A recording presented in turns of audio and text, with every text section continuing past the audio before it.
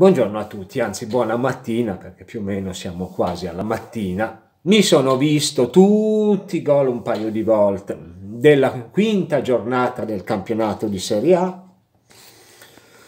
Certo, non è come vedere tutta la partita, ma sarebbe da suicidio. Io infatti ammiro molto quelli che stanno a vedere le partite di cui sai già il risultato e ti guardi tutta la partita. Io francamente la partita mi piace, o la vedo in diretta, o è la partita della mia squadra che non ho potuto vedere in diretta, allora me la, me la guardo, anche se so già il risultato, come succedeva, ahimè, quando c'è stata l'Europa League, perché lavoravo, e quindi non mi facevo dire il risultato, e alle, quando finivo a mezzanotte, tornavo a casa, mi vedevo la partita e davo i pareri, e quindi ahimè sapevo già che la finale l'avevamo persa perché non c'è stato bordello. Comunque veniamo alle partite della quinta giornata perché veramente ne sono successe di, di cotte e di crude. Partendo subito dalla partita di venerdì sera, Sassuolo-Torino, un 3-3 clamoroso, che ripeto mi ha fatto anche prendere le due bollettine visto che Sassuolo-Torino era incentrata le due bollette, c'erano le due partite degli altri campionati, due partite di, di, altri due campionati che giocavano gli anticipi con la partita del Sassuolo, le altre due partite con la partita del Sassuolo, con due risultati diversi. Avevo in uno l'over 1,5, quindi era presa già subito, e nell'altro avevo l'1x più over, e fortunatamente hanno pareggiato proprio all'ultimo minuto, perché Linetti ha portato un vantaggio il Torino. Poi ha segnato Diurici col colpo di tacco sotto su un cross deviato, eccetera, arrivata la palla, lui ticco il tacco, un golasso. E quindi 1-1. Poi però Belotti e Lucic, Lukic hanno messo la situazione sul 3-1, e però il Sassuolo non muore mai. E prima Christians che ha segnato un gol. Pam! Dammelo a pigliare. E poi Ciccio Caputo che ha pareggiato facendo 3-3. Poi c'è stata la sorpresona del, del, di questa Sandoria che vabbè il primo gol è contropiedone, passa la palla, doveva cambiare, passare la palla al compagno sulla fascia, finisce a quello che è in mezzo, che chissà come non inciampa eccetera, ma riesce a stoppare il pallone e poi gli passa la palla al compagno, poi la palla arriva a Quagliarella, finta contro finta, un'altra finta contro finta, un'altra finta, tiro sotto l'incrocio. Col povero portiere dell'Atalanta che manco l'ha visto. Poi ha segnato il gol di testa Stos, Tosby che mi ricorda uno dei giocatori di fuga per la vittoria, biondino, eccetera. È andato lì colpo di testa in tuffo.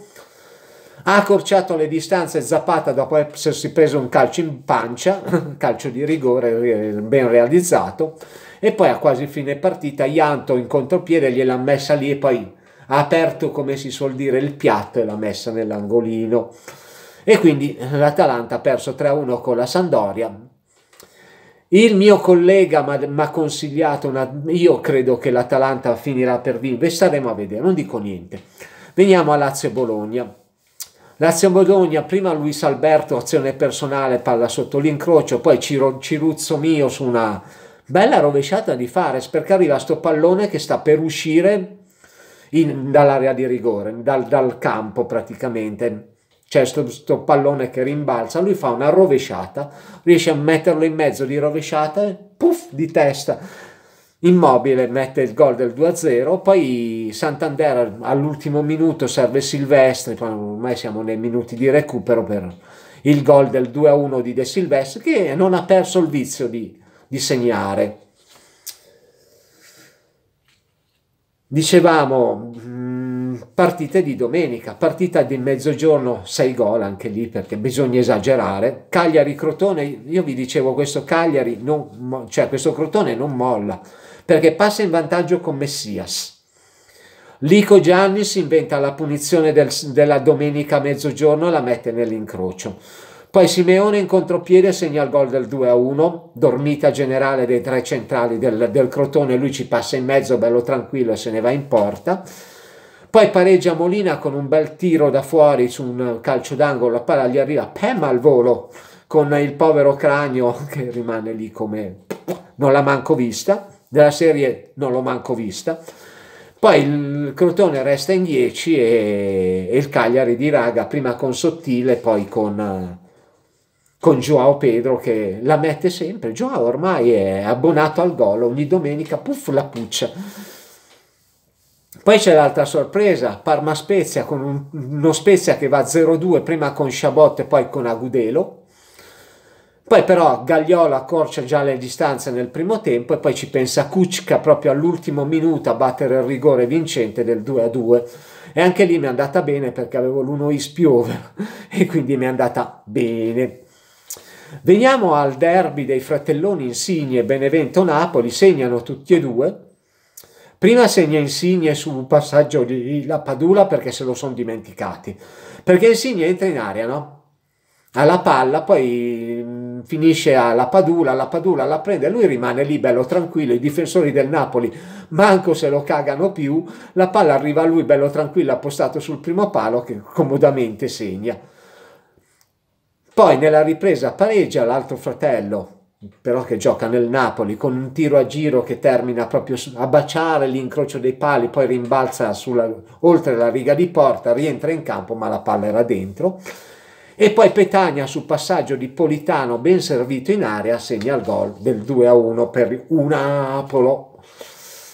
Veniamo all'altra partita di domenica, Fiorentina-Udinese, anche qui è valanga di gol perché prima segna Castrovilli, poi raddoppia Milenkovic, poi accorcia le distanze Okaka, poi risegna ancora Castrovilli, tra l'altro due, due assist del signor Biraghi, che quest'anno mi sa fare record di assist, non lo so, da quando la Fiorentina è ritornato a fare il fenomeno. Con noi era mister 5 e mezzo, con la Fiorentina gioca bene, si vede che riescono a rivalutare i giocatori, perché anche Dalbert nella Fiorentina giocava bene. E infine Okaka segna il gol inutile del 3 a 2, però quest'Udinese non è mai doma comunque, perché questa è la dimostrazione che l'Udinese anche sotto ci prova, ci prova.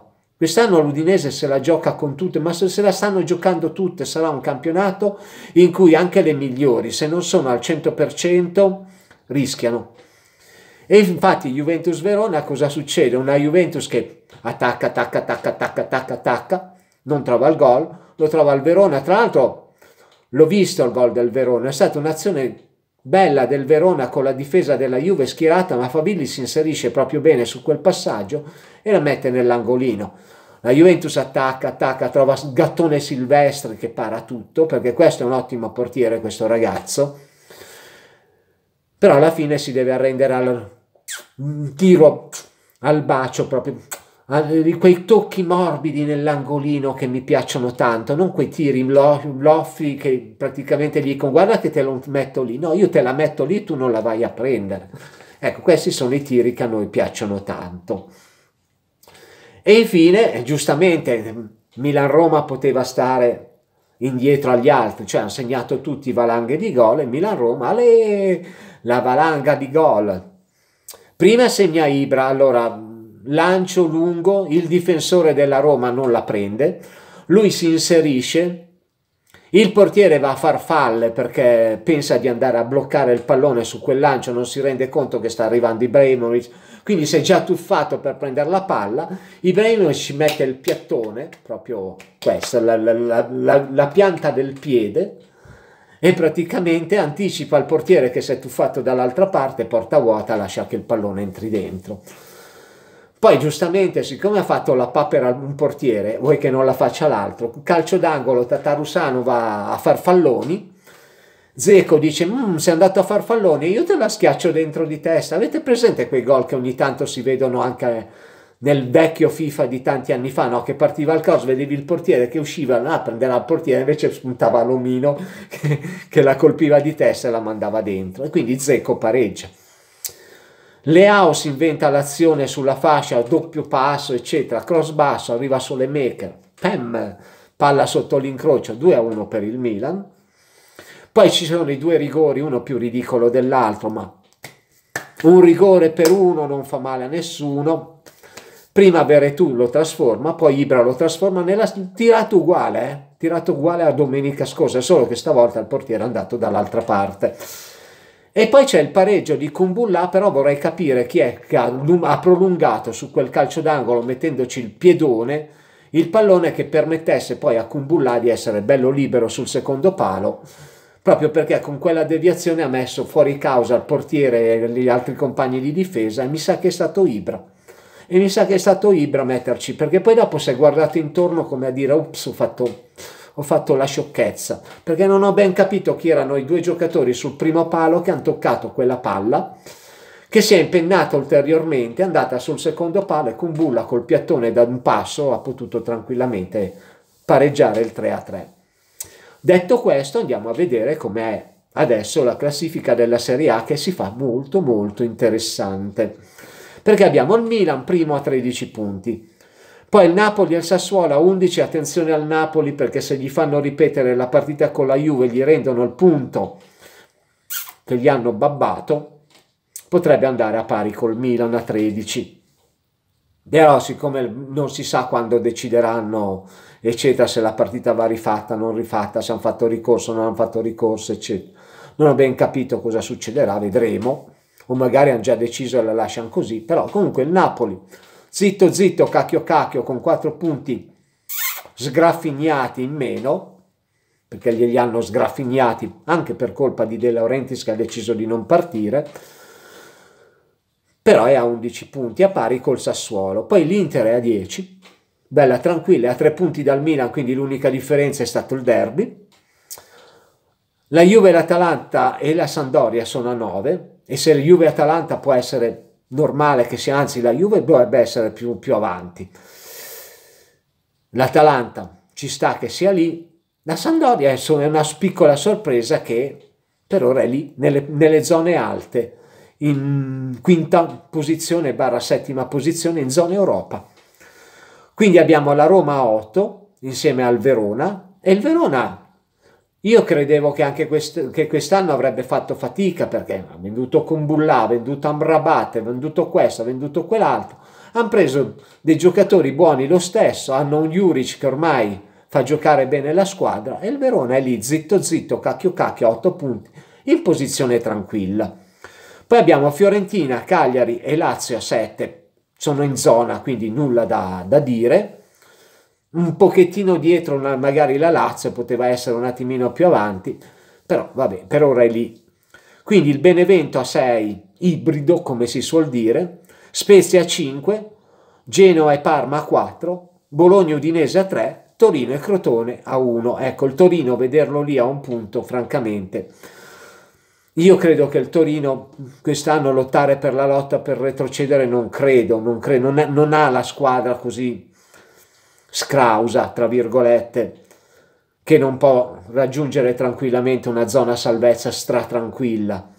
Ha iniziato male, ha iniziato male, non so se è colpa di Giampaolo, eccetera. Io direi che io francamente il Torino aspetterei a cambiare l'allenatore in un periodo in cui puoi cambiarlo e gli lasci anche il tempo per dare un input iniziale alla squadra, perché se lo cambi al volo e due giorni dopo devi giocare, non è che può fare miracoli.